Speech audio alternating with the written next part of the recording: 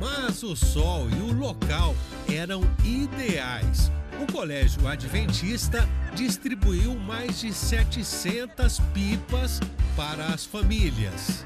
E para fazer aquilo que os pais faziam há muito tempo e resgatar, na verdade, que é soltar pipa.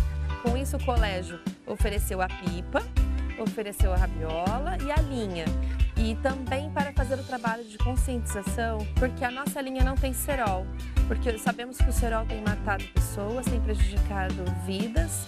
Né? Então, nosso, um dos objetivos também é trabalhar com as nossas crianças para que elas utilizem de maneira correta, para não se é, sofrer acidentes e também não causar acidentes para o próximo. É educação cidadã junto com a brincadeira com o papai. O Bernardo, de quatro aninhos, entendeu bem a lição. Meus amiguinhos não saltam com os feróis, senão vai, vai machucar. Como é que é, Bernardo? Explica melhor. Não pode soltar pipa com cerol, senão machuca. Ah, muito bom, muito bom. Agora é só os amiguinhos e também alguns marmanjos ouvirem bem a lição do dia. Pessoal, vocês soltaram pipa? Sim. Deu certo? E aí vocês aprenderam que não pode soltar pipa com cerol, certo?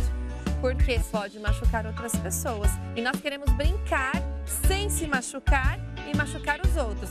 Então não se esqueçam, soltar pipa é sem cerol. Muito bem, parabéns.